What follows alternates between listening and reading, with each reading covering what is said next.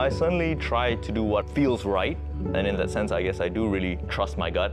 I've always kind of done what feels natural and still today do what feels natural or rather what feels right.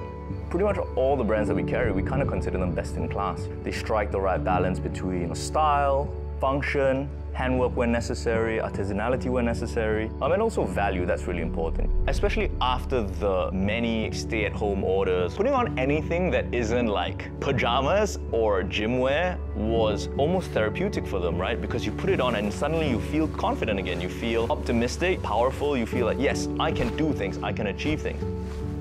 And that's the common refrain we've heard from clients coming back after the lockdowns that we've had.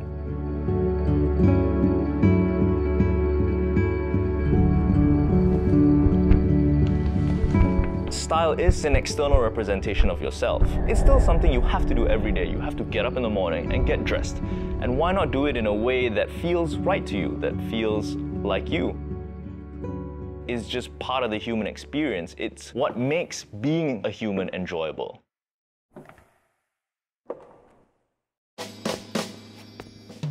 It might sound counterintuitive, but I actually find it very calming to be amidst like the hustle and bustle. Like my favorite holidays are probably to go to very, very crowded cities like Tokyo, Hong Kong, London, New York.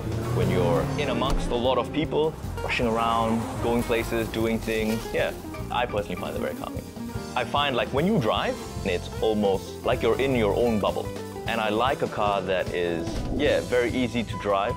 Everything is within reach straightforward, just comfortable.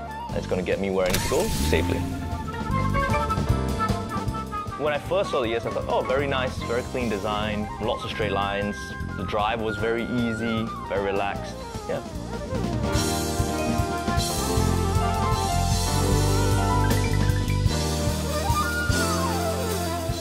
We have a kind of point of view. We have an aesthetic that we think it kind of resonates with people, that people can feel like, yeah, this could be something that I can see myself in. And so we just wanted to kind of bring that here.